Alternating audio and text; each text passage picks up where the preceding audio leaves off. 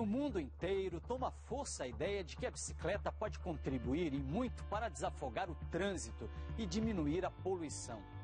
Na cidade brasileira campeã em ciclovias, já são feitas um milhão de viagens por dia.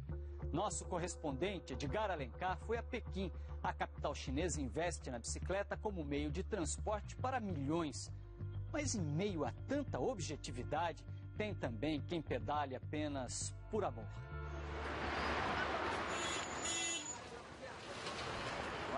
Um dia qualquer no trânsito de Pequim. Se olhar bem os diferentes tipos de transporte, você pode perceber duas coisas. Primeiro, a ausência das motocicletas tradicionais, que não são permitidas. E a outra é quase uma consequência. Tem muita gente pedalando por aqui. Em Pequim, a vida em duas rodas às vezes é também uma questão de espaço. São muito comuns ainda hoje, aqui na capital da China, essas vielas chamadas de hutongs. Embora seja permitido, o trânsito de carros e ruas apertadas assim, obviamente não é o mais cômodo. O território é mesmo aqui das bicicletas. E existe também, inclusive, uma opção de transporte comercial, os rickshaws. Milhares de pessoas ganham a vida assim, transportando dia e noite no máximo dois passageiros por vez e não importa a distância. Saímos dos hutongs, de volta aos grandes centros, grandes concentrações, o trânsito na escala China. De acordo com o um levantamento da Associação Nacional, feito no fim do ano passado, já são mais de 13 milhões em circulação atualmente. No país todo, o número passa de 150 milhões. O desenho urbano da cidade também é um convite aos ciclistas. São muitas as ruas e avenidas que têm uma faixa especial para eles. Às vezes, só uma pintura no chão marca o território. Em outras, já existe até um cercado para reforçar a divisão. O Departamento de Trânsito tem investido cada vez mais em estruturas, facilidades e um foco importante agora são os pontos públicos de aluguel. O apelo é todo ecológico, tanto que a placa diz aqui é que andar de bicicleta está na moda. Mas essa é uma iniciativa ainda nova aqui em Pequim. Por isso que quando o sistema está sendo implantado, é de graça, disponível. É só pegar um cartão como esse, bastante simples, e quem quiser pode ter uma bicicleta disponível pelo dia inteiro. Com iniciativas assim, o governo espera que até 2015 as bicicletas sejam responsáveis por 25% dos meios de transporte em toda a cidade. Todo o esforço é para frear um dado que vem preocupando as autoridades. Em 1986, por exemplo, 63% das pessoas utilizavam o pedal para se locomover na cidade. Este número já caiu para menos de 18% e a curva desce ano após ano. O grande vilão, se podemos chamar assim, é este modelo que fica no meio do caminho entre uma moto e uma bike. É a bicicleta elétrica. O preço médio varia entre 400 e 900 reais e o combustível é apenas carregar na tomada, como um eletrodoméstico comum. Há 10 anos, este mercado começou a aumentar e, na proporção da economia chinesa, a fabricação já passa dos 30 milhões a cada ano. Este casal dispensou o carro e hoje tem duas bicicletas comuns e duas elétricas. Argumentam que é ideal para pequenas e médias distâncias por ser rápido, ecológico e um meio de se livrar do trânsito. Mas esta nova compra não é para aumentar ou modernizar a coleção, e sim para repor uma que foi furtada. Sim, isto também acontece por aqui. Pequim encabeça a lista das cidades do mundo preferidas pelos ciclistas. Mas há outros centros urbanos que se tornaram exemplos. Quilômetros de ciclovias fazem de Amsterdã na Holanda, Paris na França, Munique na Alemanha, Nova York nos Estados Unidos e Bogotá na Colômbia alguns dos melhores lugares do planeta para pedalar. A capital da Colômbia tem a maior malha cicloviária da América Latina. São 350 quilômetros de ciclorrutas, usadas por mais de 500 mil pessoas. O movimento Pro Pedal começou em 74. Em 98 foram construídas as primeiras ciclovias e desde então o número de deslocamentos de bicicleta cresceu sete vezes. E como só 13% da população tem carro, a bicicleta é uma necessidade. Considerada a melhor cidade do mundo para se pedalar, Amsterdã precisou de algumas décadas para aperfeiçoar sua rede de ciclovias e vias expressas.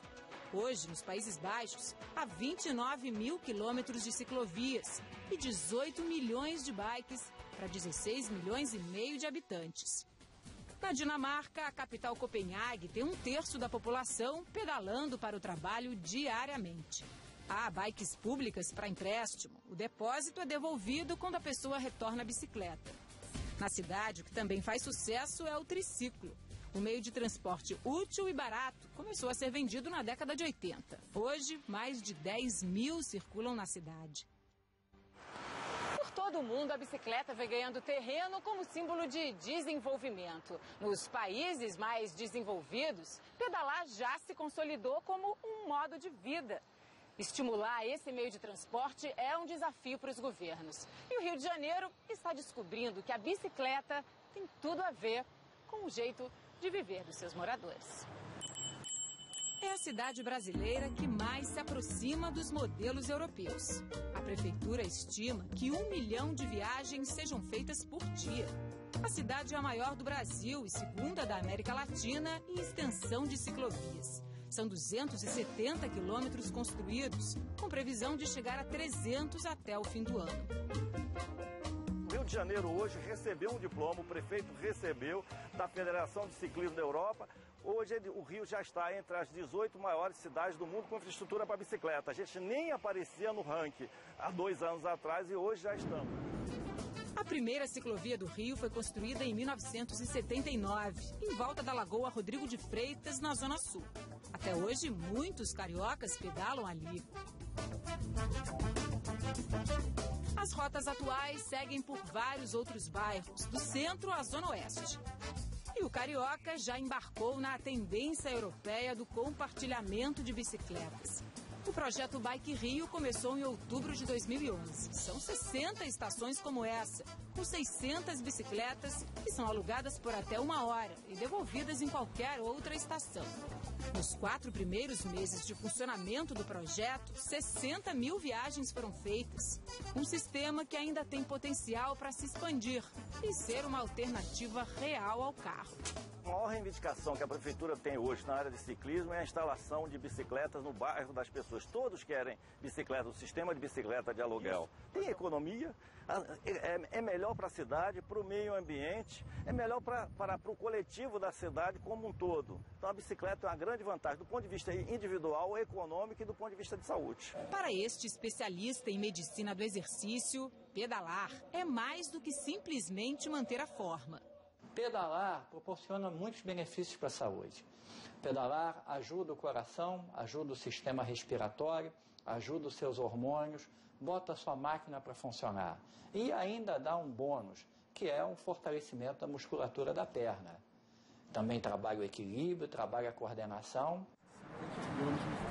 Este senhor sentiu na pele as mudanças que a bicicleta pode trazer à saúde. O empresário Eldon Jung, de 71 anos, começou a pedalar diariamente de casa para o trabalho há 10 anos. Emagreceu 20 quilos e encontrou a felicidade. A primeira foi a redução de peso, né? também junto com a alimentação. Né? Com a redução de peso eu eh, não tive mais apneia, então não precisei fazer essa cirurgia. E com o exercício minhas varizes começaram a desaparecer, então não precisei fazer a cirurgia de varizes. Ah, e rejuvenesci meu humor melhorou, né? Eu sou agora benquista na empresa, porque é, todos me veem de forma mais alegre, na família também, né? e isso faz muito bem uh, para qualquer pessoa. O segredo da sua fonte da juventude, que não parece nunca ter 71 anos, então Obrigado. pode ser a bicicleta. Sem dúvida, né? E depois de alguns dias de fazer essa atividade, você desenvolve a serotonina a serotonina é o hormônio da felicidade, mas também é um vício. Né? O corpo reclama e quer mais. Então, assim, que coisa boa, né? Que eu sou estimulada a usar diariamente a bicicleta. Para Jung, incentivar o uso da bicicleta é uma questão de matemática. Ele defende a causa baseado nos números. Ele fez uma conta simples. Se uma empresa de 100 funcionários comprar uma bicicleta para cada empregado ir trabalhar, a um custo de 200 reais cada uma, investiria 20 mil reais. Quando esta mesma empresa dá vale transporte aos funcionários, o gasto anual é de 129.600 reais. Ou seja, com as bicicletas a economia chega a 109.600 reais por ano. Isso se a bicicleta durar apenas um ano.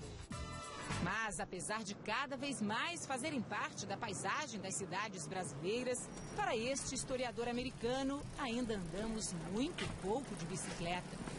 Chris Carlson pedala desde 1978. Em 92, foi um dos fundadores, em São Francisco, nos Estados Unidos, do movimento Massa Crítica, que reúne milhares de ciclistas buscando a retomada dos espaços públicos.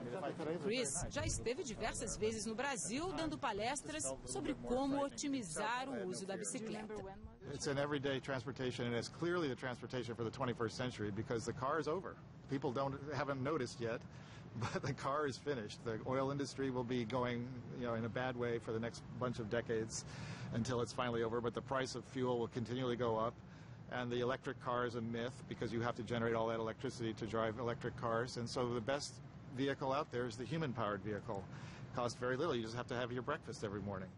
Para ele, é fácil transformar o Brasil num país de ciclistas. Well, there is a huge amount of money in the government's budget, in the federal government of Brazil, that gets spent every year for building roads and widening roads and making subsidies for trucks and for cars and buses.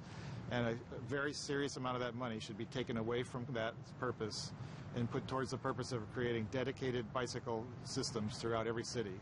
So if you could get out of your house and go three blocks to a place where you can ride safely next to your grandmother to go wherever you want to go in the city and get off that place and then you're not with cars, you're not with people walking. You have your own space for bicycles. You will find out that in two years, maybe two years, maybe five years, maybe 10 years, 30 to 40% of Brazilians will be riding a bicycle for all of their local activities.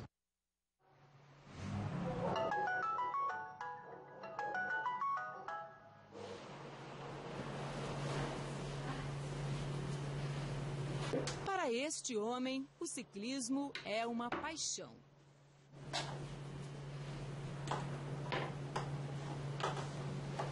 Há quase 30 anos, a rotina de Walter Tucci começa às 4 da manhã.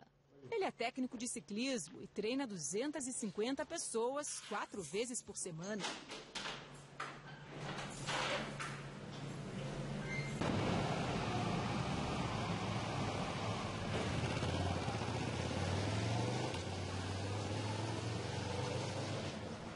Cuidado, tá cheio pra caramba, tem gente aberta hoje. Bora, vai começando a sair. A luz do dia ainda vai demorar a chegar, mas eles já estão na pista. Espantam a preguiça e pedalam. E lá está Walter, acompanhando tudo. Meta velocidade, pelo amor de Deus! 43 quilômetros por hora. Esse é o ritmo do grupo. E este é o ritmo do Walter. Romão, Romão, você tá muito encostado na roda dele, cara. Dá um meio metro da roda dele. Joana, para de balançar o tronco. Como todo mestre, ele é durão. Você não vem nunca? Dá nisso, bicho, não presta atenção. Mas também sabe a hora de incentivar. Vai, vai, Lu, vai, Lu, vai. Vai, vai. E olha que eles não são atletas profissionais, são amadores, pessoas comuns que pedalam por prazer e têm nesta sua principal atividade física. Eu tenho 50 meninas que pedalam, 50 mulheres. Mulheres que trabalham, que são empresárias, que são de casa, mas que têm filhos, que levam, saem daqui, vão correndo levar a criança para a escola, levar café da manhã para o marido. Tem todo esse esquema. É assim, faixa etária variada, tem desde a menina de 17 anos a mulher de 60 anos, que participam de provas, que fazem pelo envolvimento no esporte mesmo. Neste horário, o grupo de Walter é dono da pista da esquerda da Orla de Ipanema, como informa a placa. Uma conquista dele pela segurança de seus alunos. Os carros do horário nos ajudam, os ônibus não atrapalham, eles param nos cruzamentos pra gente, os táxis. A gente bate na tecla da segurança o tempo todo. Capacete, luva, luz de alerta, ficar ligado no treino. Chegou aqui, acorda de fato, evitar conversa e ter uma concentração maior, porque é uma atividade de risco, não tem como negar isso. Mas a gente tenta minimizar isso com os aspectos de segurança, né? Todo esse cuidado com os alunos começa antes do treino, em casa, onde ele monta a planilha de exercícios de cada um.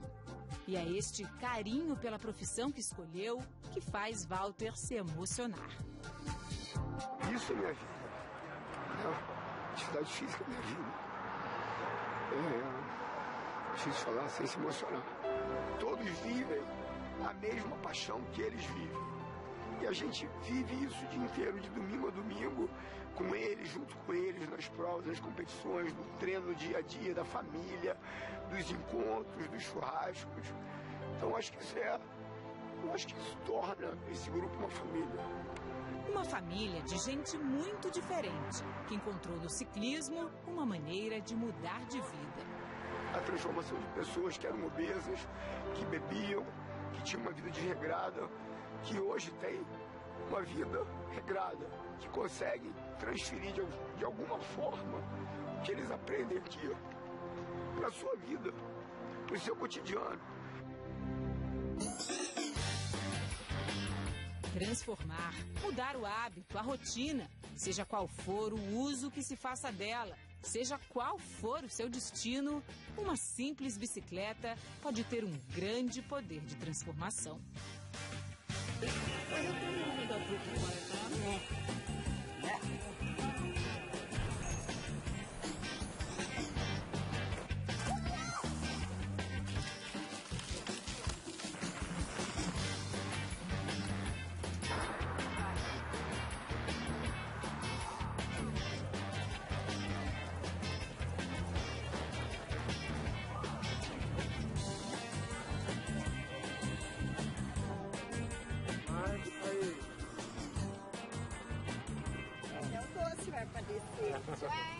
Tchau, Lucas. Tchau, tchau, Lucas. Tchau.